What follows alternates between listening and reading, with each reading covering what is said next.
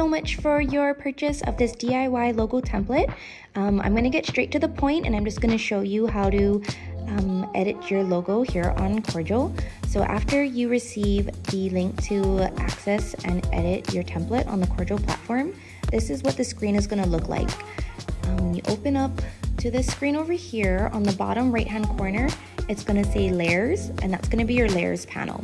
So we're going to go ahead and click on that and this is going to show all of the layers. So all of the text and all of the graphics or the backgrounds or whatever is included in your logo template will all be found in your layers panel.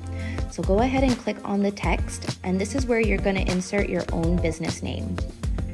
So when you select the text from the list, right above it is going to show all of these options and it's going to have the text box right here where you're going to go ahead and type your business name.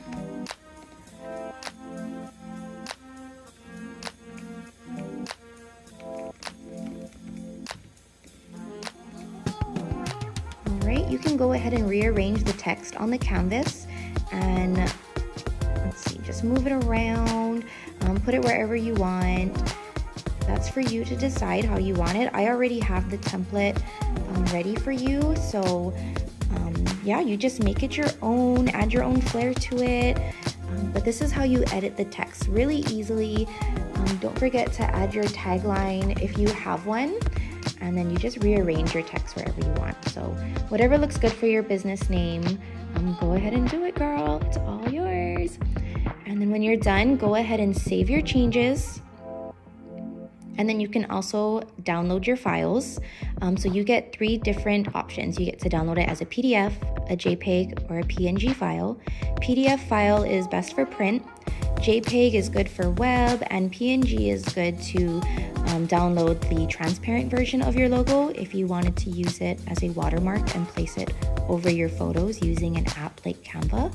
In order to download your logo with a transparent background, you would first need to go to this right here, edit background, and select the transparent background box and click save. So that'll change the black background that you just saw.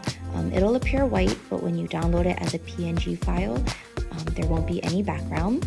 Um, because I do have a background model and this little glow design over here, you can go ahead and delete those if you don't want them.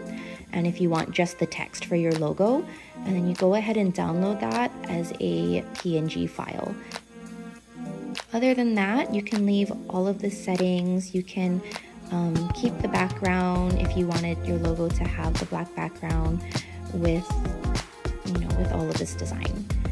And yeah, just be sure to save your changes. And whatever you do, don't click the revert to original button over here because it will reset the entire template um, unless that's what you're trying to do. But while you're saving or downloading, um, don't hit this button because it will erase all of your changes and it can't be undone. Okay, so I hope this video helps. Um, if you have any questions or need any help, please send me a message on Etsy. I am always here and happy to help you. Thank you guys so much.